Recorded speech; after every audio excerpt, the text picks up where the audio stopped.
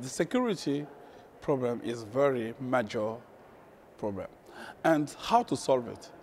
There is not a magic stick where we can just made it and because we still have a lot of apps coming. People we're still developing apps and people are some of them are really smart. They can find uh, the thread of vulnerabilities and use it on the bad way.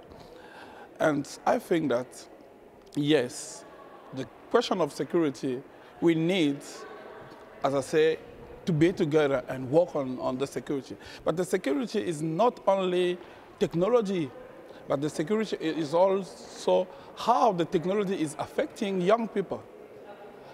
How security is affecting, is, can be used for a group of people to make evil. So there are a lot of points on, on, on this.